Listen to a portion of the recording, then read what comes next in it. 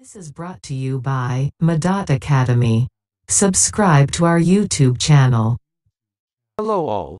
In this tutorial we will see Arduino conditional statement with an example. The conditional statement is the most basic of all programming control structures. It allows you to make something happen or not, depending on whether a given condition is true or not. The syntax is simple as shown. The if block will be executed if the if condition on the bracket is true. The else if block will be executed if the else if condition on the bracket is true while the if condition is false. If any of the condition is false, the else block will be executed. Okay, let's see with an example. We will make Proteus simulation for turning on LED. When analog read of A0 is more than the threshold value, the threshold value will be set on the Arduino program. Open Proteus software and search for LED, Arduino, resistor and potentiometer.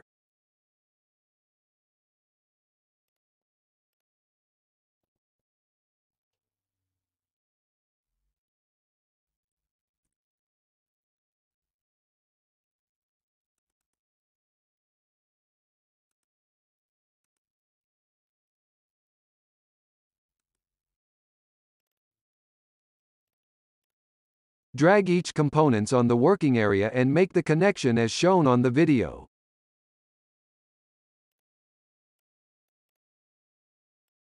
Here you have to change the value of the resistor 10 kilo ohm, which is very high you may not be able to see the LED light on a real hardware.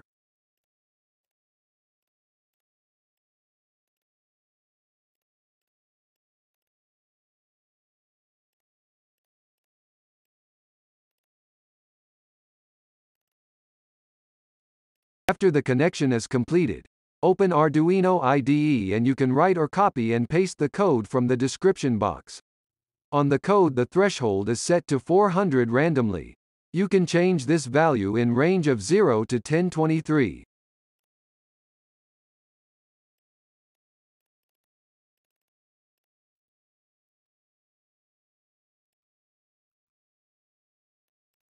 On the loop function the if block will be execute and the LED will be turned on, if the analog read from pin A0 is greater than the threshold value. Otherwise the else condition will be executed and the LED will be turned off.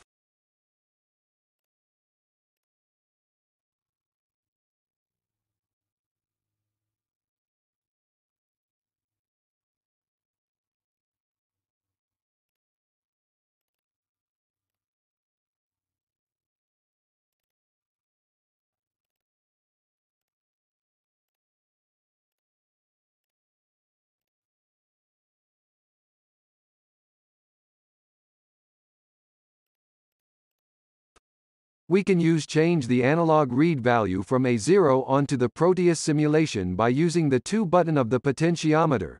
The upper button is used for increasing the value whereas the lower button is used for decreasing the value. Serial.begin and serial.println functions is used to display the analog read value from pin A0 serially onto serial monitor. We can use virtual terminal to display the, the analog value onto it.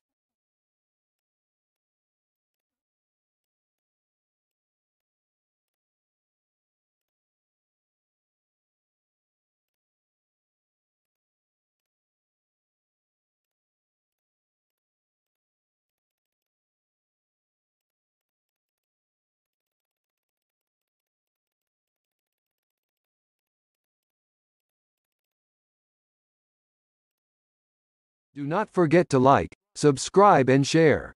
Thank you.